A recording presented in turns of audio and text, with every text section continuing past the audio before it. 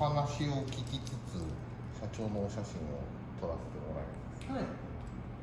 全然あのこんないところいやいやいやもどうでした？その SAB のそのうはい。釣られてるホワイトボディを見て土屋さんなんか何ておっしゃってました？真っ先にあれに気がついてます。ホワイトボディがぶら下がってるってマジでだから普通のあれですよね。そのアルシオーネとか SBX とか僕らだったらあれがバーッと置いてるだけでうわーってなるけどスバルに興味がない人でもちょっと車してる人ならホワイトボディがぶら下がってるっていうだけでもうそれだけでびっくりなことなんだと思うんですけど。土屋さんどうでした？その最初にあどうぞ。ホワイトボディが気になったということですあれな何だと思います？何ですか？何ですか？なんであんなことしてると思いますえ何ですか？なぜですか？あのね、あれきっかけは、まあ、一つどうしようもないっていうか、もうちょっとこれ再生するのは、うん、はばかられるなっていうのがあったんですね。うん、で、部品取りにするのもかわいそうかなと思って、で僕、昆虫採集好きなので、で昆虫採集のあの標本みたいなのが部屋になってるわけですよ。部品が全部壁に飾ってありますでしょ。で、そのホワイトボディしちゃった理由っていうのは、あの頃ね、レオーネっていうのは、ものすごい数の車種を持ってたんですよ。で、今でこそ、インナーフレーム構造だとか、SGP だとかいうようになったんですけど、まあ、当時はそんな発想もないわけですよ、世界中に。で、ベースがレオーネ、であそこまで変えるっていうのはどれぐらいのことをしたのかっていうのを感じませんか？感じますね。その4と何ですかそれでねまああのレオーネっていうのはまあ井本さんもねたまに僕の書いてることを読んでくれてると思うんですけどあのちょっとこの商売に走ったって当時お金もそんなにないしでもフルモデルチェンジをしなきゃどうしようもないしとにかくクーペがなかったので舐められちゃうわけですよ。でさっき気がついたあこれじゃないな。あのもうこのノスタルジックヒーローっていう雑誌だとなかなかいい視点を持っててね。あのクーペの特集を出した時にホンダのねあんなあの大したことのないクーペが乗ってるんですよ。1300cc ぐらい 1600cc ぐらい忘れちゃいましたけどところがね当時スバルは性能的にはあのあそこの99とか77ってやつがあったんですけどねホンダの。僕あれ乗ったことあるんですよ1300そうですね1300あれってねエンジンはユンと確かにもあるし空冷であの壊れにくいんですけど雨降ってたら前進んでいかないんですよ大人4人乗ってたら。上野の交差点でね4人乗ってねフルスロットルで出ようとしたらね車前進んでいかないんですよ。え。重量配分あまり考えてないんですよね。あなんかすごいフロントが重いフロントが多分ね軽くなっちゃうんでしょうね。後ろに一つにある。でじゃあ 1300G がねそんな風になるかってならないんですよ。でじゃあそれがねやっぱりクローズアップされない要するに漏れちゃうっていうのが、まあ、スバルのスバルたる理由でね、うんまあ、そこに昔からねあの興味があるんですけど、まあ、そういうクーペがないっていうんでレオーネにはクーペが乗っかであのレオーネって最初クーペで出てきたんですよ。で当時はねとにかく、ま、もうその頃「週刊ポスト」っていう雑誌があってね「週刊ポスト」がレオネ・クーペのすごいクープをしたんですよ。川崎市なんて乗ってないからそう。週刊誌が車をあのポストがねそんな時代を、まあ、覚えてるわけですけどあのレオーネがクーペで出てきてでその時にはまだ 1300G セダンが残っててで今の本当にスバルそのもので新しいやつ古いやつをこう併売していくっていう環境を持ってた頃に初めてそのモデルチェンジをしたんですけどまともにできなくて実はそれは偽りのモデルチェンジでねまだ近いところがあるんです実はその今回の PR で、うん、あの要素は入ってるんだけど実は全部一緒でエンジンだけが新しいでエンジンも新しいんだけど元々あったエンジンの、まあ、これが何も例えば BRZ と形は少し変わってるけど骨格はほぼ一緒じゃないですか、ね、でただアルミルーフを使ったりエンジンを2.4リットルにしたりはしてるけれどもまあ基礎は基礎ですよね。これってレオネの苦労した時よく言いますそういういろんなこのスバルっていうのはあの土壇場になるとすごい力を発揮する会社でその代わり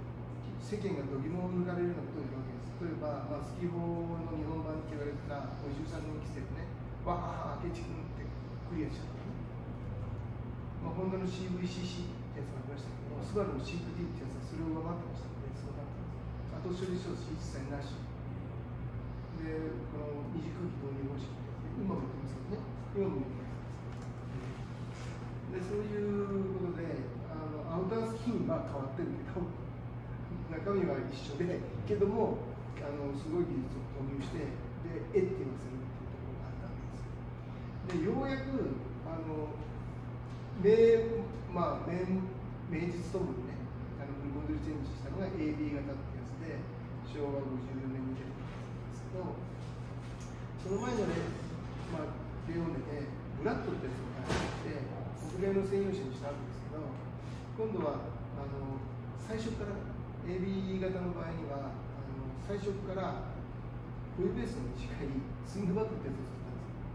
すこいつがねソガイラリーで活躍したりあとあとねホイールベースの短いやつがいろんな可能性を出していくんですけど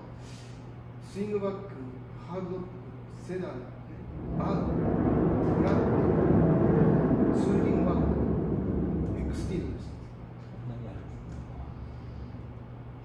それでこのシリーズの中でで僕が一番あのまああ失礼 XT はその次です XT はその次ですあのスイングバックスイングバックと,、えー、とツーリングワゴンツーリングワゴンでツーリングワゴンまででその次にあの AA 型っていう AB から AA になったんですね一つにずれてましたけど AB 型から、ね、AA になったなぜ AC になるのか普通だったら正常進化で AA だ AB ですよねで AA になるはずなのにそれは AC が永久欠番なんですあのウルトラセブンで第12話が封印されてるようなものです。マリオが得意だともこれでそうなんですである大問題があってえそのあの形は、まあ、使わずに自ら封印したんですでその AA 型の場合には AA っていうあのセダン。から、えー AM っていううバン、ね、から AJ っていうツーリン。グワゴンあ AJ じゃない。AL, AL っていうツーリングワゴンツーリングワゴンのフルモデルチェンジなんで AL です AL っていうツーリングワゴン。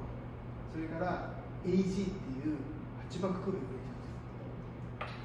ようんスイングバックがなくなっちゃったんですけどハッチバッククーペが出てきてでクーペがあるところに持ってきて今度これをベースで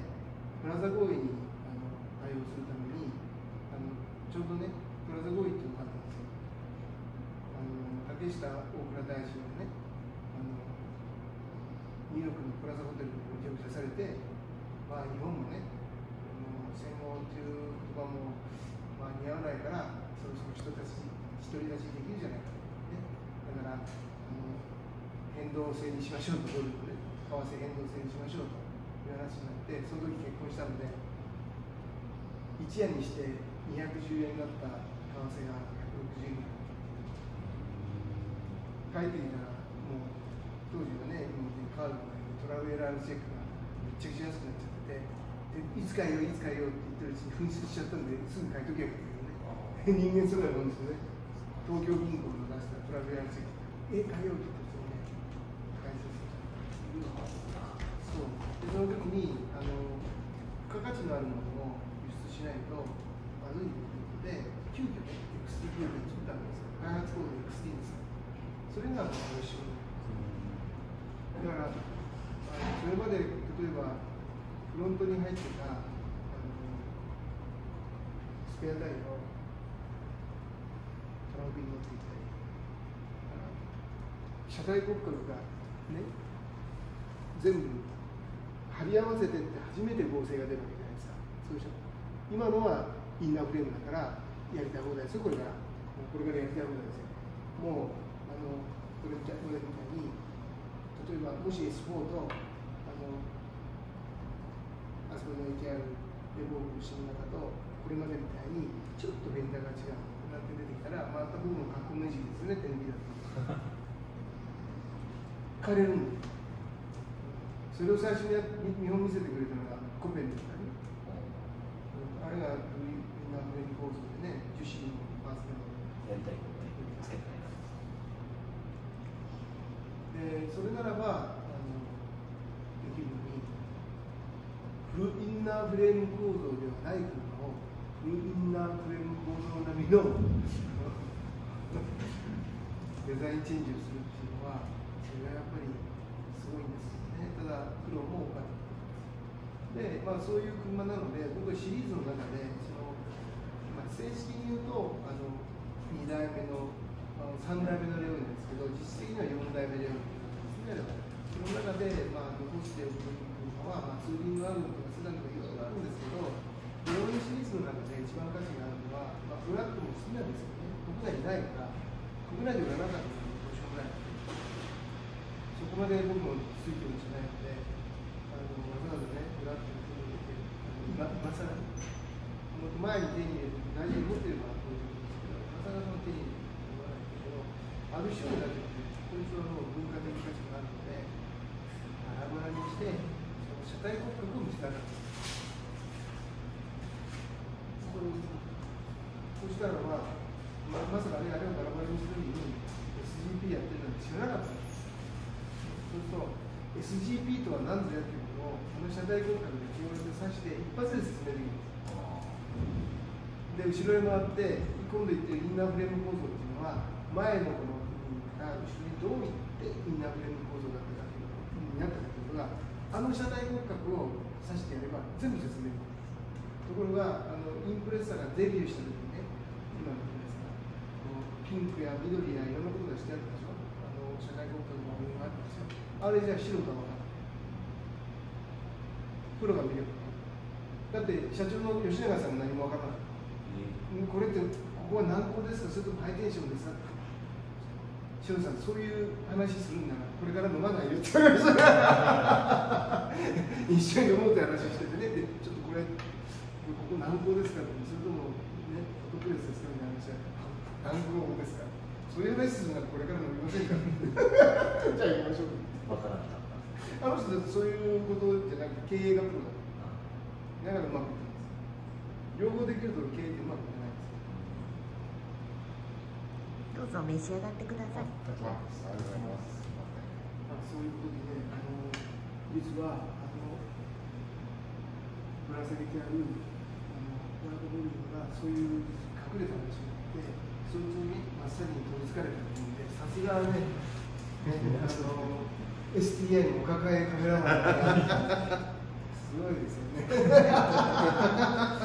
まだ全然これを撮った人ですのでね。ねでこちらもね、オーソリティ、スバルのオーソリティのね、今日は井本さんがね、えーここでね、えー大活躍で、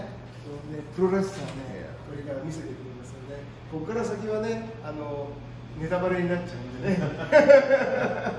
本が出るまでのね、お楽しみということでね、8月10日に出ます。8月10日にね、えー、次号のスバルマガジン、次号のスバルマガジン。は8月10日発売です。よろしくお願いします。